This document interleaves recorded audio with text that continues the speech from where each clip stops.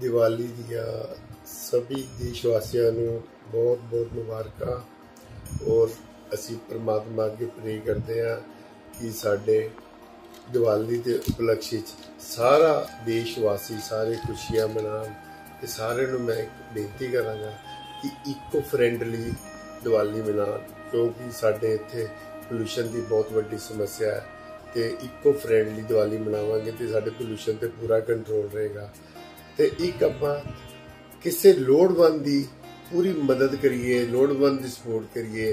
ਦੀਵਾਲੀ ਦਾ ਇਹੀ ਹੈ ਕਿ ਭਗਵਾਨ ਸ਼੍ਰੀ ਰਾਮ ਜੀ ਦੇ ਵੱਲੋਂ ਇਹੀ ਸੰਦੇਸ਼ ਹੈ ਕਿ ਆਪਾਂ ਪੂਰੇ ਖੁਸ਼ੀ ਵੰਡੀਏ, ਸਮਾਜ ਨੂੰ ਖੁਸ਼ੀਆਂ ਦਈਏ, ਸਮਾਜ ਦੇ ਪ੍ਰਤੀ ਪਿਆਰ ਵੰਡੀਏ। ਤੇ ਇਸੇ ਸ਼ਬਦਾਂ ਨੂੰ ਦੀਵਾਲੀ ਦੀਆਂ ਸਾਰੇ ਦੇਸ਼ ਵਾਸੀਆਂ ਨੂੰ ਬਹੁਤ ਬਹੁਤ ਬਹੁਤ ਬਹੁਤ ਮੁਬਾਰਕਾਂ ਤੇ ਸਾਰਾ ਪਰਿਵਾਰ ਤੁਹਾਡਾ ਖੁਸ਼ੀਆਂ ਨਾਲ ਖੁਸ਼ੀਆਂ ਨਾਲ ਇੰਜੋਏ ਕਰੇ ਤੇ ਖਾਸ ਖਿਆਲ ਰੱਖਣਾ ਇਕੋ ਫ੍ਰੈਂਡਲੀ ਸੈਲੀਬ੍ਰੇਟ ਕਰੋ ਤੇ ਇੱਕ ਦੂਜੇ ਦੀ ਮਦਦ ਕਰੋ। ਧੰਨਵਾਦ।